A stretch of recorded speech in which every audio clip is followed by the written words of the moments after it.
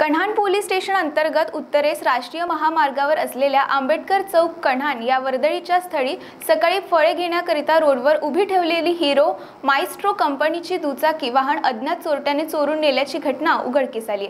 यावर पोलिसांनी आरोपी विरुद्ध गुन्हा दाखल केला असून पोलिसांचा पुढील तपास सुरू आहे.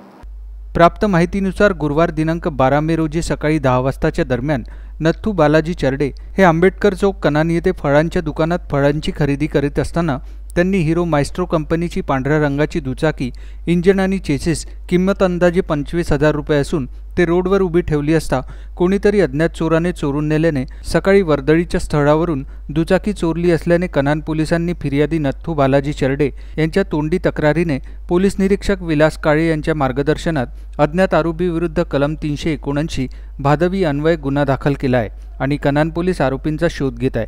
व्ही के बी न्यूजसाठी कमल यादव यांची रिपोर्ट. हाँ मैं घर से निकला और आम लाने को बताया घर के लोगों ने।